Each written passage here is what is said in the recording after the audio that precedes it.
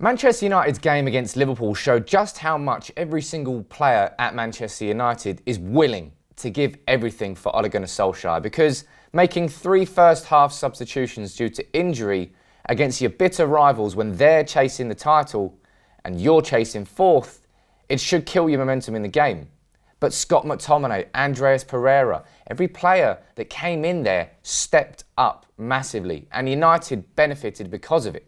That being said, United are now in the middle of an injury crisis with so many players out injured. But how is Solskjaer going to navigate this period? We've got Crystal Palace coming up, we've got Southampton, then PSG and Arsenal before Wolves. How will Solskjaer maintain this unbeaten run that he's started in the Premier League? From 10 games, he's got 26 out of 30 points. The best ever start by any Premier League manager ever. And now it faces a massive test with so many injuries. What I'm going to do in this video is run through the starting 11 that I think we should see against Crystal Palace, the player switches that I would bring in for those that are injured, and of course, I want to hear from you in the comments below as always. If you are new, make sure you go down there, hit the subscribe button and the notifications bell. If you're a regular, drop a like on the video, but let's get straight into it.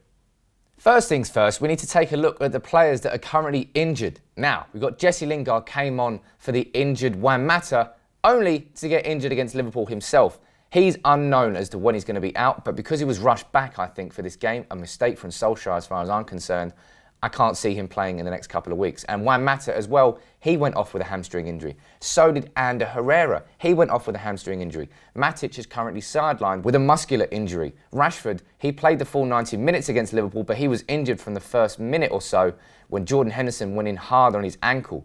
Looked like that could be a bad impact injury, but I'll be surprised if Rashford was risked for Crystal Palace and probably Southampton as well. And Anthony Martial, he's currently missing with a groin injury and no one's really sure when he's going to be back. But given that Lingard was rushed back and he suffered another injury, I'd be surprised if Solskjaer rushed Martial back. So looking at that, that's five out of the 11, as far as I'm concerned, that Solskjaer would be starting. It's the equivalent of Liverpool missing Salah, Mane, Firmino, Keita, Wijnaldum. It's a fucking lot of big injuries to cope with at once. And we've got PSG coming up. We've got a turnover a 2 0 deficit, and Pogba's suspended for that game. I don't know how Solskjaer is going to cope with this and keep this run going, but if he is going to do it, these are the changes that I would expect to see. Now, the first change I think we're going to see a lot more of Scott McTominay in for Nemanja Matic in the next couple of weeks. Scott McTominay's performance against Liverpool was arguably a sort of coming of age performance for him. Under extreme pressure, even before the kickoff, so many people writing off McTominay and expecting him to play abysmally.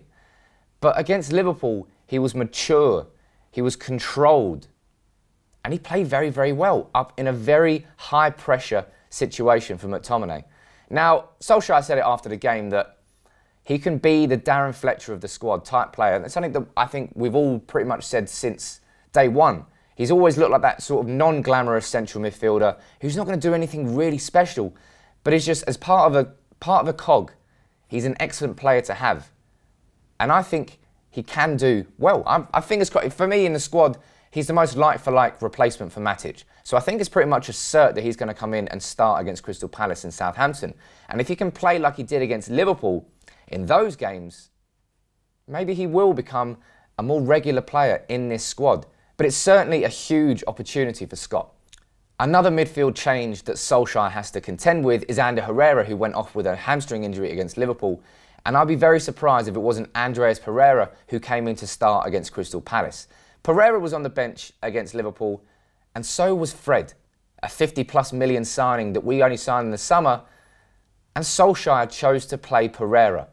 Now, if that doesn't give you the biggest indictment of where Fred is in the pecking order at United, nothing will. For me, it's almost uh, Fred's closer to the end of his United career than he is to the start of it. That was an opportunity there for Solskjaer to bring him in, but he preferred to trust Pereira, the player who he started against Burnley and who played, let's be honest, abysmally against Burnley, gave away that first goal and just had an overall poor game before he was taken off. But Solskjaer decided to put confidence back in Pereira, even by giving him the opportunity to come off the bench against Liverpool. And in those circumstances, I think the pressure was higher on Pereira than it was for McTominay because of how Pereira played early this season when given the chance against Burnley. But like McTominay, Pereira performed. Neither of them played incredibly well. man of the match winning performances. But in a makeshift midfield, they didn't get dominated by Liverpool. In any way, shape, or form, Liverpool had a lot of possession and we sat deep, but they were good in that deep and disciplined formation. Certainly, we'll get the most out of Scott McTominay. But Pereira, we need to see him express himself a little bit more against Crystal Palace if he does start.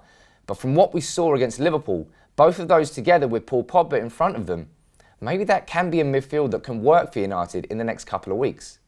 But as changed as our midfield is going to be with Pereira maybe and McTominay coming in, our attack's going to be even more changed because Marcus Rashford, Anthony Martial and Jesse Lingard are all likely to be missing against Crystal Palace. Certainly Lingard and certainly Rashford. Maybe Martial will come back. As I said, I don't think the Solskjaer will rush him back. Does that mean that Solskjaer will change to the 4-1-2-1-2 formation that he's used against Spurs and Chelsea? Maybe play with two up top?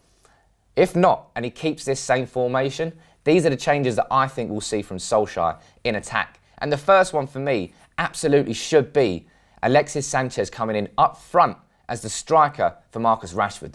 As far as I'm concerned, it's really, really important that Sanchez plays up front and not out on the left. Personally, I've always felt that this was Sanchez's best position in the squad, but this year, certainly, he was never getting in ahead of Rashford, and Lukaku was preferred as a second choice. But I think Lukaku works better in a different position, which I'll get to next, and Sanchez works better as a central striker. Now, Sanchez, so many United fans have wiped their hands of Sanchez, get him out of the door in the summer, don't want to see him play for United anymore. But Sanchez still is a top draw player. And if anything, this is the opportunity for you, Sanchez, to show that you really genuinely want it. Because I feel now it's not down to fitness, it's not down to confidence, it's not down to anything apart from what you want to do. If he wants to really work for it and show that he, he still is hungry to play football, like he said in the pre match interview with Ander Herrera, I think before the Chelsea game, fucking go and do it. Go and show it. Because for me, it seems to be a mental issue with you, Sanchez, rather than anything else. But playing up front here, I think we can get the most out of Sanchez there. And that is why I would like to see him deputised for Rashford rather than Lukaku, who I would rather see start out on the right wing when Lingard is out. Now, he may have spent the majority of his United career playing as a striker, but I feel under Solskjaer's system, we're getting more out of Lukaku when he's playing as a wide man. Because Lukaku, with his back to goal, as a target man, I don't think it gets the most out of him, and I don't really think it gets the most out of the players around him. Playing out on the right hand side like he did against Arsenal, he can still use that pace in behind when that space is there and Pogba's trying to look for the balls. He's got the strength to out muscle a defender when running for the ball as well. And if you do want to use him as a target man, you still can, but he's out on the left wing instead of up front. I feel that would get more out of Sanchez in this formation, and I think it would get more out of Romelu Lukaku as well.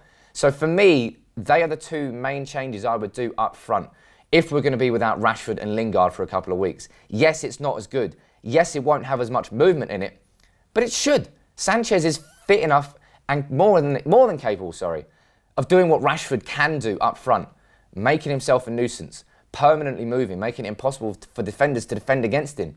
And Lukaku, he won't be able to do what Lingard does, but he can offer other things as well. And we need someone like Ashley Young Diogo Dalot, whoever plays down the right hand side, to use and build a partnership with Lukaku because he'll be able to get them into the game more.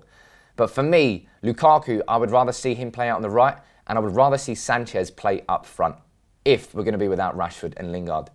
One injury I'm not too sure about is Anthony Martial in terms of who replaces him in the squad. I think it's the hardest to make a straight swap with. Solskjaer rushed Lingard back and he suffered an injury against Liverpool. I don't think that Solskjaer will take the same risk with Anthony Martial. But if Martial's not going to play, where do United turn to? It could have been Juan Mata, but he went off injured against Liverpool as well. Could it be Andreas Pereira maybe further up the pitch with Fred coming into central midfield? Could it be Ashley Young playing as left wing or right wing? I don't know. Diogo Dalot can maybe come in at right back. Or will Solskjaer turn to the academy graduates and give an opportunity to somebody that is what I would like to see. And for me, out of the options there, Tahith Chong is the clear candidate. You've got Angel Gomes. I think he'll come into the squad in the next couple of games. I don't think he'll start, but I think Chong is a more natural fit to that winger position than Angel Gomes. James Garner is a central midfielder. He'll come in and deputise because we don't, we're without Matic, we're without Herrera. We need central midfield options. But in terms of the attacking position there on the left, I'd like to see Chong.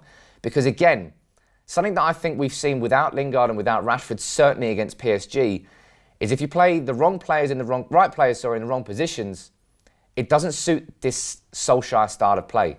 Sanchez was poor against PSG. I think United need to try and get more out of them and playing Chong like he did against Reading.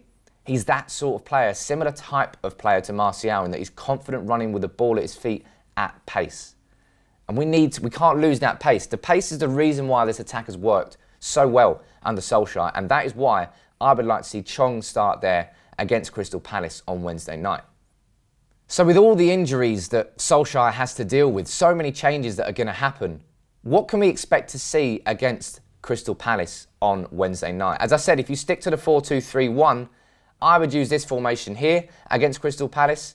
But if you go with a 4-1-2-1-2 with more of a diamond shape, maybe I would play two up front with Sanchez and Lukaku. But I think Solskjaer is going to stick to the system that's worked for him in the majority of the games, and that's that 4-2-3-1.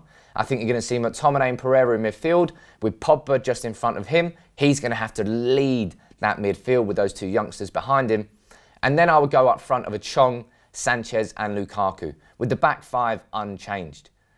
It's a lot of changes that we're going to have to deal with, and it's a real test. You know, we've had so many tests under Solskjaer, and he's passed every single one so far.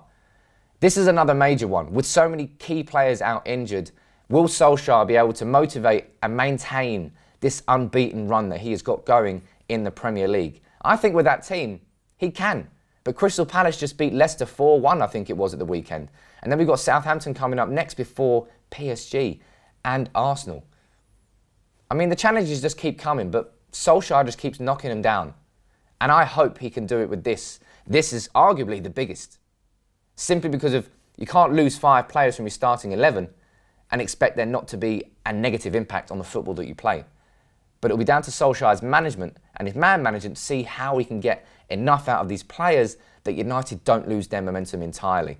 But I want to know from you in the comments, what do you think Solskjaer should be doing with these changes? Who should come in? Who shouldn't come in? What position should they play in? And how confident are you that Manchester United can maintain this unbeaten run in the Premier League with all these injuries? Let me know what you think in the comments below. As always, if you are new to the channel and you're still here, well done and subscribe down there. But until next time, take it easy.